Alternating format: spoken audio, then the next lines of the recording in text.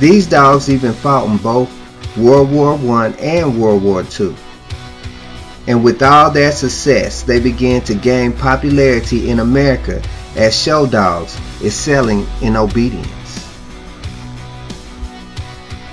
The Giant Schnauzer is part of the working group.